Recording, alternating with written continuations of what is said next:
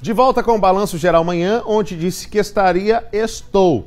E obrigado demais pelo carinho da sua audiência, por ter permanecido aí do outro lado. 8 da manhã, mais 9 minutos. A gente repercute agora as novas regras de circulação dos novos corredores de ônibus aqui na capital. O momento é de adaptação entre motoristas e pedestres. As novas medidas dividem opiniões. Acompanhe.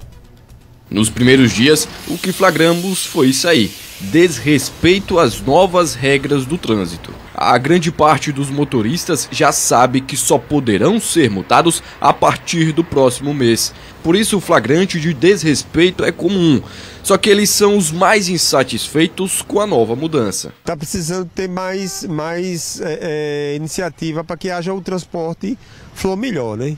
Para que tenha um fluxo melhor. Exatamente. Até agora não está satisfeito? Não, não, não. Infelizmente não. Passa 5, 6 ônibus e você ainda continua no sinal. Tá difícil. Tá difícil. Tá deixando o trânsito bem complicado agora, né? Por enquanto, né? Até se adaptar, até que as pessoas se adaptem. Vai... Tá achando o fluxo difícil? Sim.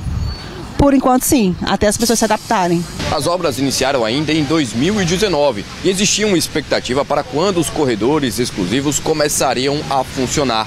Segundo o SMTT, o projeto visa dar mais mobilidade aos ônibus do transporte coletivo de Aracaju e diminuir em até 20% o tempo de viagem dos passageiros. Mas as mudanças ainda dividem opiniões. Nem todos os motoristas de ônibus também respeitam, né?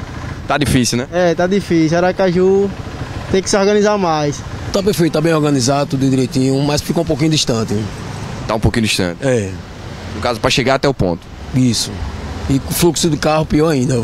Facilitou muito, né, para nós que trabalham, né, no dia a dia, né, eu, os ônibus têm um acesso único né, na faixa, porém, né, a dificuldade, né, ao descer do ônibus, né, é que a, é, os ônibus acabam deixando a gente no meio, né, da pista, né, onde são avenidas muito movimentadas, com carros rápidos. Mas essa não é a única reclamação.